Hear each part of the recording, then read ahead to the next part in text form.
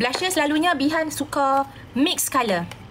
Ini blusher Bihan, colour pink, siap ada cermin RM25. Kalau pakai seorang, 6 bulan lebih boleh tahan sebab dia pigmented, tak payah pakai banyak. Ini blusher Bihan colour orange.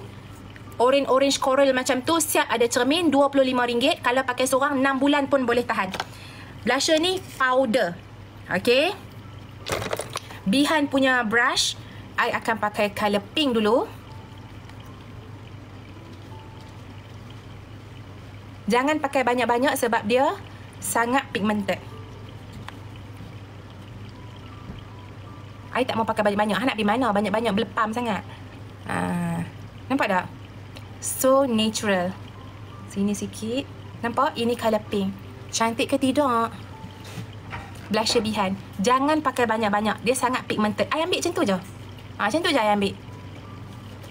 Hampa jangan tak payah duk tonyo banyak-banyak. Tak payah, tak payah. Tak payah. Ah, faham? Tak payah tonyo banyak-banyak.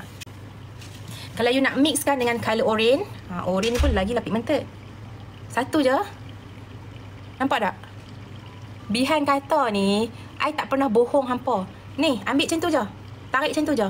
Segok blusher behind ni, kan? Ni, tarik macam tu je. Nak habang betapa pigmentednya blusher behind. Ha, ni dah terang dah ni cerita dah ni. Kita terang dah ni. Kalau hampa nak blusher yang tahan lama, tak payah touch up, dia tak hilang walaupun you pakai 8 jam, 12 jam, maintain dekat muka you, ambil blusher behind. Satu lagi apa yang best blusher behind, blusher eye dia tak ada shimmer. Tak ada shimmering, shimmering, glitter, glitter. Hati-hati. Kalau blusher yang ada shimmer, muka you berlubang-lubang, pakai dekat blusher yang ada shimmer, muka yang lubang-lubang tu lagi akan nampak lubang-lubang lagi besar.